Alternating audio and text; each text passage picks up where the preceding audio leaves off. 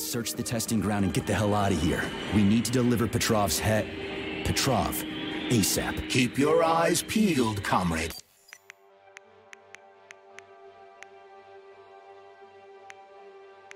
Major, there's more to Sakhalin than meets the eye. We can deal with that. The other places weren't exactly a walk in the park, you know.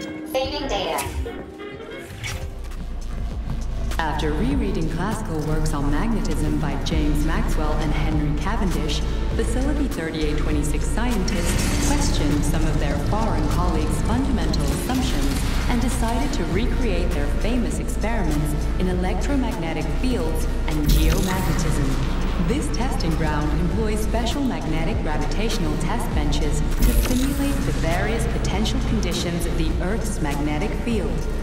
This allows us to better study underground deposits and find more effective ways to exploit them for the benefit of the Soviet Union.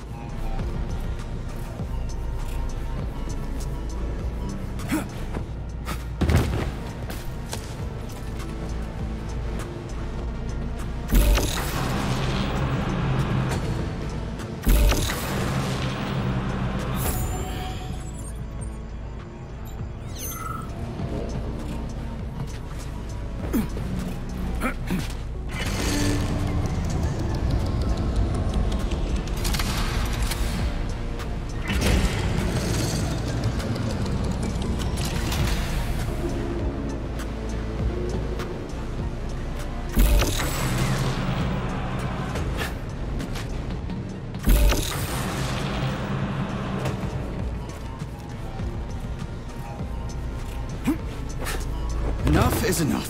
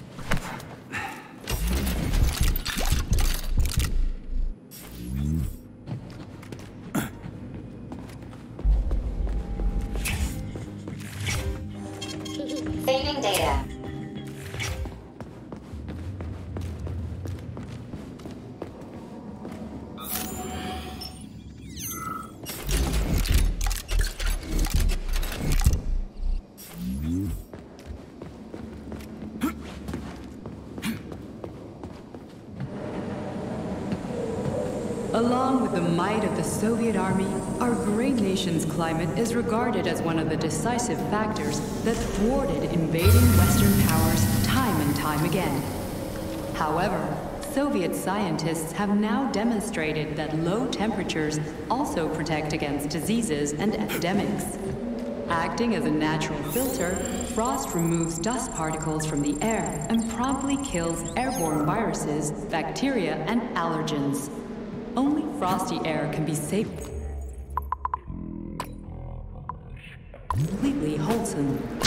Cold temperatures also stimulate the immune system. This is why this workshop is demonstrating the cold environments of the USSR to help study the effects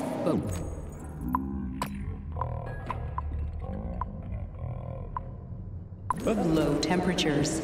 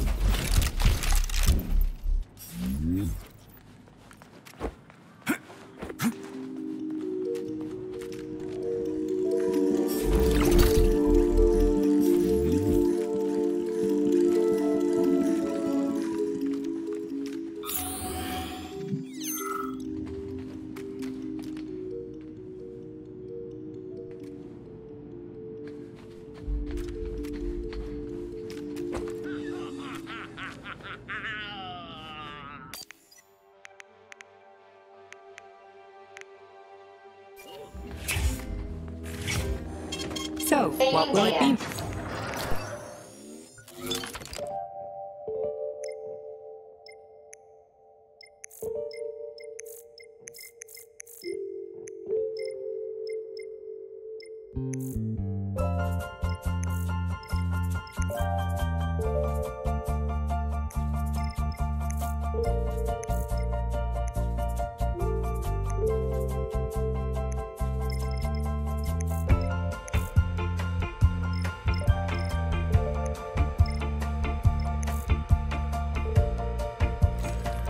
So, what will it be, mate?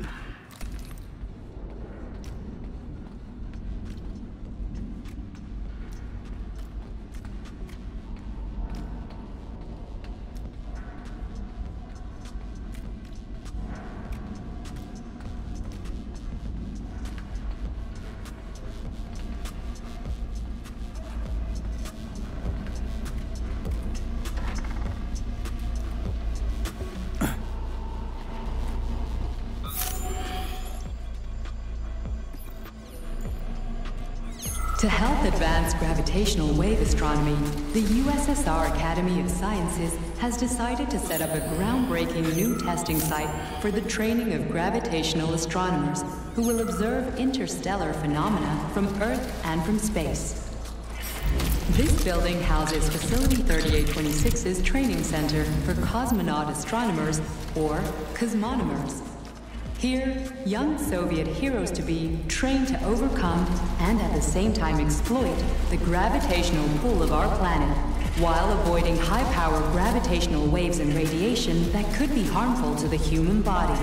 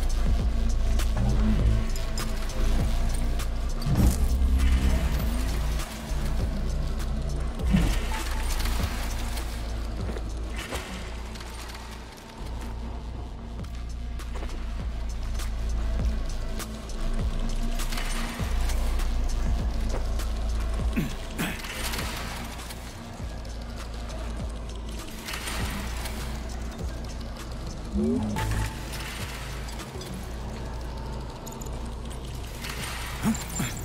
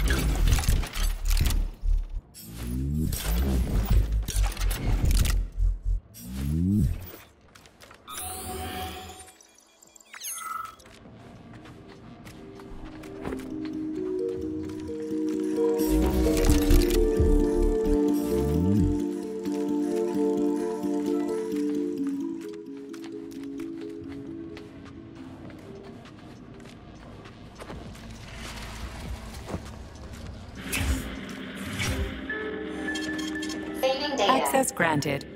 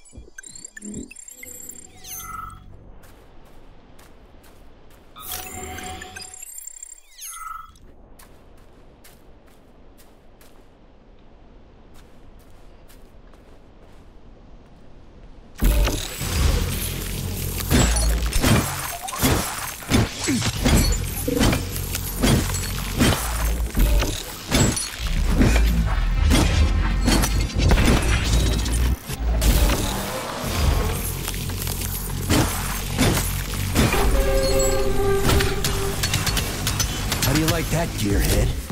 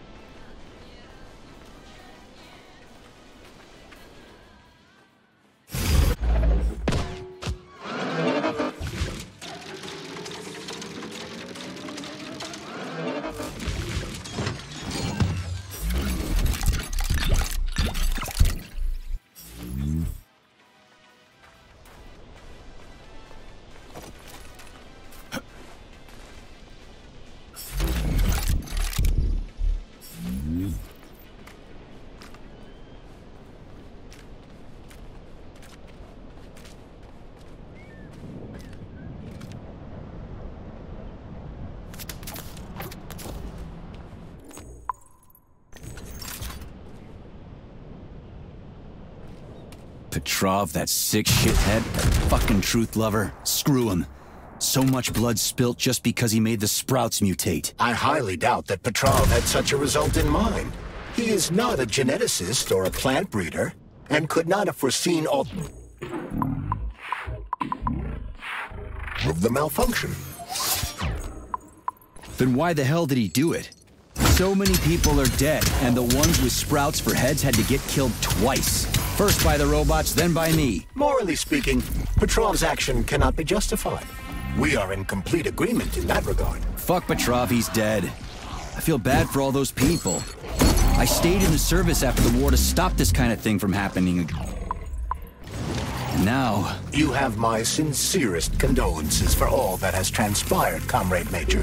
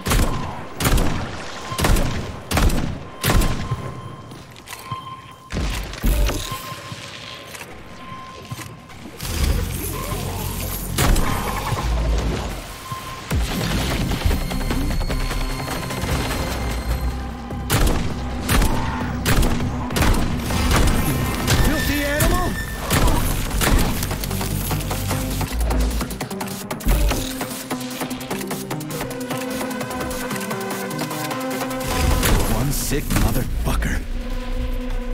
Damn, you're ugly. What are you gawking at?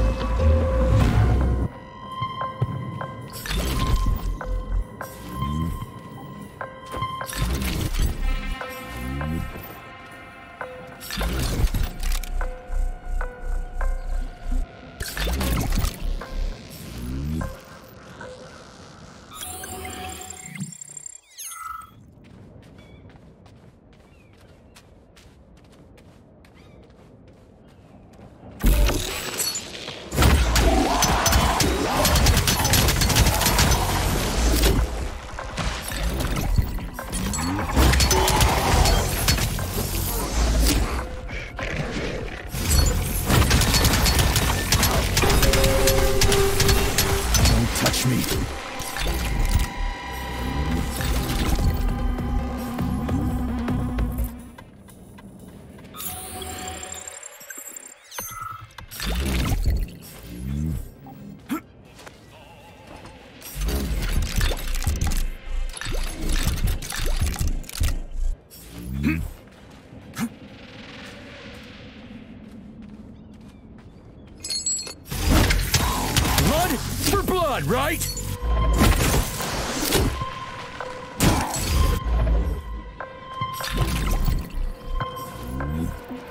Charles, no one can force somebody into Kollektiv, right? Petrov was wrong about it.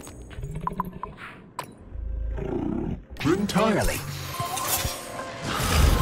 What do you mean, not entirely? I'm not a member of Kollektiv. How can Kollektiv find out about me? It's quite simple. Let's say you walk past a robot.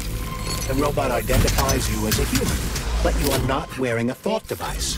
The robot fails to receive mental commands from you in response to its queries. So it realizes I'm not in Kollektiv and tells the others about it. Then what?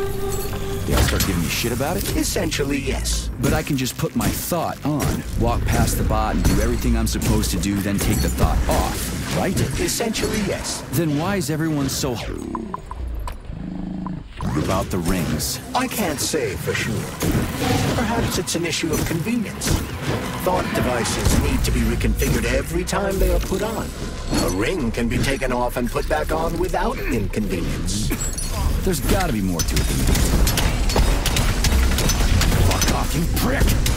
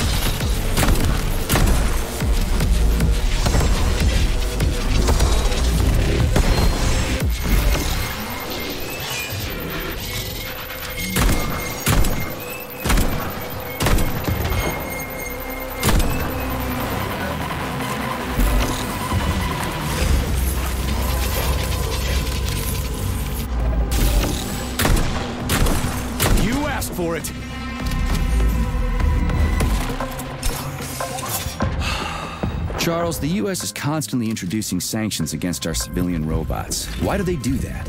Do they suspect something? The U.S. government clearly has certain suspicions, or at least concerns. Yeah, it's their job to be concerned about their country's security. But they don't have any hard evidence. That means they don't really have a leg to stand on, right? Indeed. That is precisely why Petrov caused the malfunction. Right? He wanted to show the world that our Civibots have a combat mode, fine.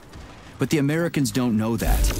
So what are the sanctions for? The American government is using the sanctions to find a middle ground between the needs of the capitalists and the growing discontent of the working class. You mean American working stiffs want to get our bots banned because they're taking their factory jobs, and the capitalists want to get more free robots so they can get rid of all the workers once and for all? Quite right. The American government is feeling pressure from both sides. So the sanctions remain moderate without banning robots entirely. They merely set quotas on importing them. So why does the Soviet Union give a shit? Who cares if the Americans sanction us? They're the ones stopping themselves from getting rid of the working class. Well, good. We're all about the workers. The more restrictions they place on the import and use of robots, the fewer of our robots will be located in key parts of the American government when Kollektiv launches. So the Soviet government wants there to be as many of our civilian robots in the US as possible when they activate combat mode. That'll make it that much easier to take over the country. I gotta admit, it makes sense.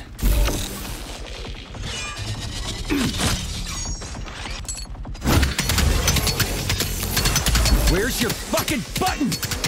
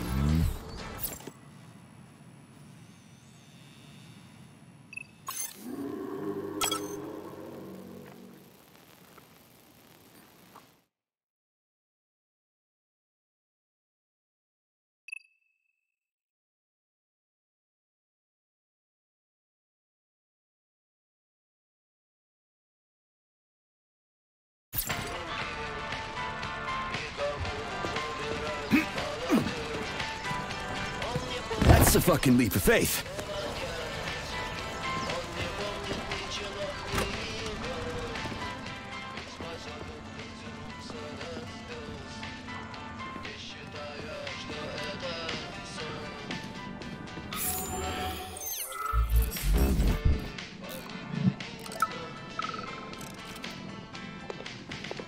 Everything's fine. Take it easy now. The bosses know what they're doing. Demon, I haven't even been here a week yet, and I've already seen enough corpses for a lifetime.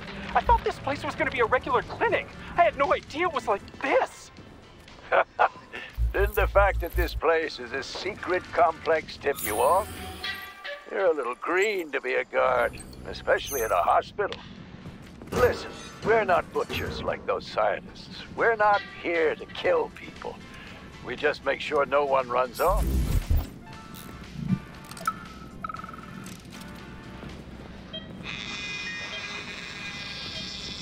Swab. Focus. Keep an eye on that incision. Okay, okay. Focus.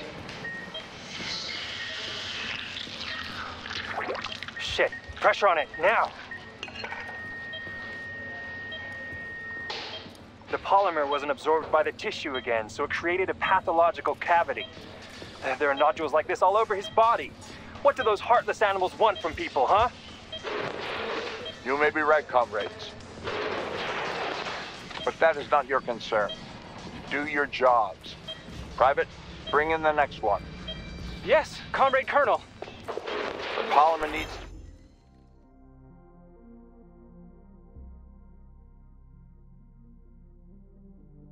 be absorbed. And if it's not, save whoever you can. And clean this place up. Autolysis starts approximately 7 to 10 minutes after death, followed by defecation in 3 to 5 minutes. Rigor mortis sets in 5 to 6 hours. Then, let me see, complete decomposition in about 5 years. What are you doing? I'm counting. Counting. Everything has to be thoroughly calculated. I'm a scientist. And I must spend every moment examining and cataloging nature's phenomena. Comrade, do you know many people capable of documenting the decomposition of their own body? What's the point? You can't even record your observations. What? Oh, shit. You have a point. So you will help me. Please stay next to me over the entire period of the decomposition and keep track of the progress. You will manage. It won't take long. Give or take 535 to 650 days in current conditions. Fine.